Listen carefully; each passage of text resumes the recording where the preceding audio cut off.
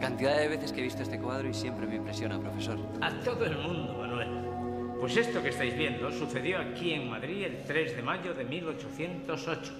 Dicen que Goya, acompañado de un criado, se fue a medianoche a donde estaban los pobres fusilados y allí mismo, a la luz de la luna, con lápiz y cartón, tomó apuntes de los cadáveres, de las posturas de los muertos, ese boca abajo, aquel boca arriba.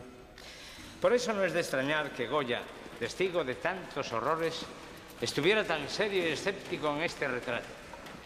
¿No veis en su rostro una cierta amargura? Algo así como una profunda desesperanza. Es un autorretrato. O sea, él se pone delante de un espejo, se mira y se pinta. ¿A que sí, profesor? Cierto, Manuel, cierto.